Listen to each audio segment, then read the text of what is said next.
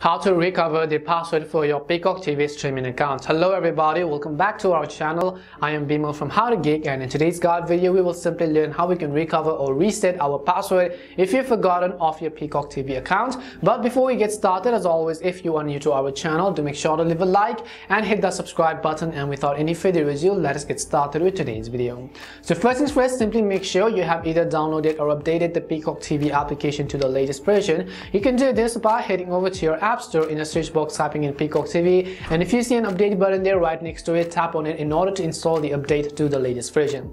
Once you've updated your Peacock TV application I'm going to simply open it. If you have not created an account before you could simply tap on the get started button and then simply create a new account or you can watch our other video which we have posted on the similar channel. If you already do have an account like we're going to do it right now tap on the sign in button which you see on the very top right corner of the screen.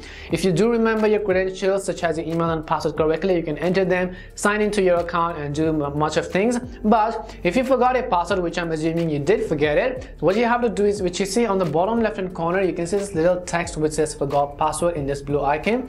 All you have to do is simply tap on this blue highlight text which says forgot password. Once you do that, if you forgot your password, you want to make sure that you at least have access to the email address which you used during the sign up process on Peacock TV. If you do not have the email address which you used during the sign up process, you will not be able to access and get back access into that account account so you can see it says tell us your email to get help with your password. So what we're going to do is we're going to simply go ahead and then enter our email address which we use to create an account on Peacock TV once you've entered your email address, make sure that it is the correct email address because if it's not correct, it will send an email verification link to a wrong email address. And also make sure that you have access to this particular email address.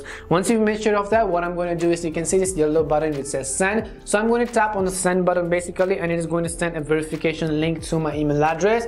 You want to go ahead and then simply open up your email address as in this case you can see on my other phone where I'm actually logged in. All you have to do is you can see this mail which I have received from Peacock TV instantly and you can see this little mail what you have to do is you have to simply tap on this yellow button which says reset password. Go ahead and tap on it. As you tap on the reset password button it will basically take you to a new page if Peacock TV is available in your region where you, the options will be available to actually reset a password enter your new password re-enter your new password confirm and save the changes and then come back and then re-log into your account. And that being said that is simply the way on how you could very easily recover your Peacock TV's password. Hopefully this video helped you in either way. If it did help you make sure to leave a like and subscribe to the channel. And if you have any more questions, queries or doubts, simply also make sure to leave them down. Subscribe to the channel for more short and sweet tutorials like this one. Thank you very much for watching till the end and see you soon in our next video.